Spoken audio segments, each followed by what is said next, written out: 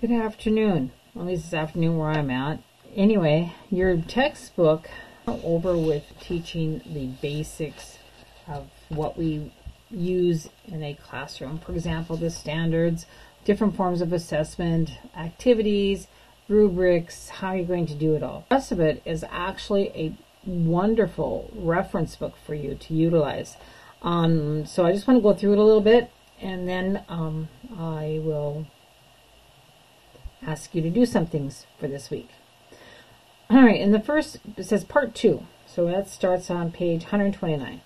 And part two goes through every single um, science section that you would probably teach in elementary grades. And that would be the first one is on Earth and Space Science. And so if we look at it when we open it up, there's this wonderful um, timeline of look at chapter 7 the learning objectives are basically like, do you know? It's a wonderful little reference book now. So it says, describe ways the geosphere, the biosphere, hydrosphere, and or atmosphere interact to affect the Earth's materials and processes. And then describe how plate tectonics explain the development and ongoing changes of the Earth's surface. And then explain how solar energy, convection currents, and density influence ocean currents and last, but explain how the effects of weathering or the rate of erosion by water, ice, wind, and vegetation contribute to, contribute to the recycling of Earth's materials. So, this particular book from now on is a reference book of, of material or whatever. And they have, um, there's a lot. There's absolutely a lot. And then I found out that they have in the back of the book and called Appendix A, I believe. I don't have it bookmarked right now, but we're going to get to it. Appendix A is all about putting the content into action. I know. Amazing. Amazing. So here is um, has some unit plans and questions for, um, for example, we have a unitile, our Earth changes. Is the Earth the same place today as it was yesterday, last year, when I was born, when the dinosaurs roamed? And then using observations over a short period, along with photographs, illustrations, and interviews for long periods, it gives you uh, so much. I wish ideas. Yep. It also gives us ideas for bulletin boards and field trips. And then it gives us examples of topics and phenomena, like how to do different activities. Um, this is for night and day. Um, earthquakes. On this page over here, a sedimentary rock formation, an, an idea how to do that. And it's it has all of things that you and I could use in our classroom. And I look at some of these things and, um, like this one, you're thinking, oh my gosh, it's going to be so hard. But how to find relative humidity? We always think, well, what is relative humidity? Here is a purpose, a small board or heavy piece of cardboard, um, relative humidity table. Oh, you go, what's a relative humidity table? And look, they give it to us. And they have all this information. Then they have questions for us to ask the students. This is really a wonderful you want for earth science. Because earth science, I will admit, is really hard to find activities for the students to do in the classroom.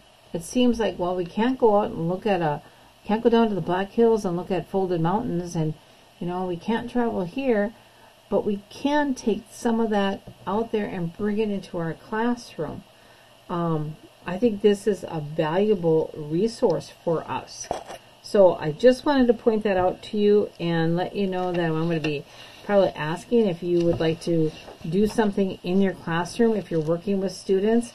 Take one of these activities and utilize it with them. Develop it. Make it your own. Add your own questions. You know your kids.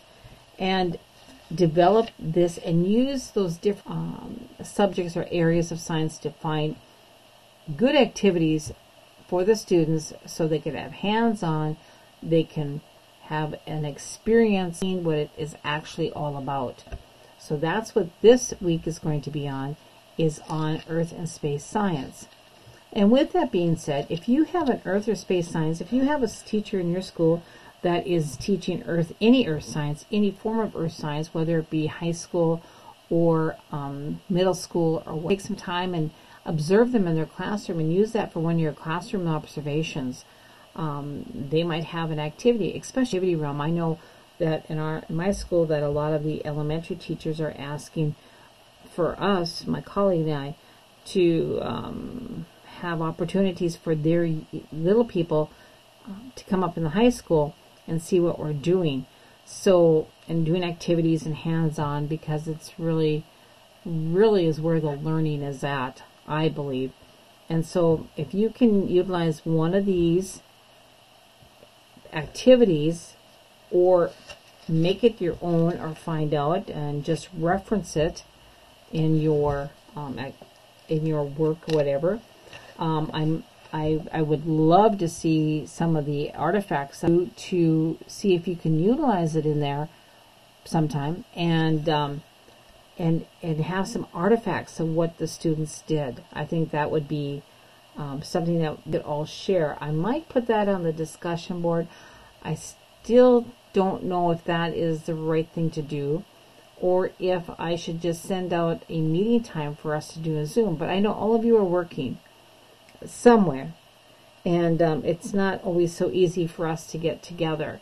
Um, I think I'm going to put out a, uh, a, form and have you fill it out to see if we can get together um, either on Zoom or um, maybe in person at the Mulberg site if that would work for you. And I know uh, for Jessica that's not going to work. Um, that's just too great of a distance for you to drive down. But if we can work something out, I would love to do that. Um, but in the meantime, I guess it's going to be show and tell. Um, the reason I'd like us to meet is so that we can see what each one of us is doing and that maybe we can have that conversation of how I can utilize that in my classroom or how it could be changed or how it could be, or maybe it say, this is not the one I want.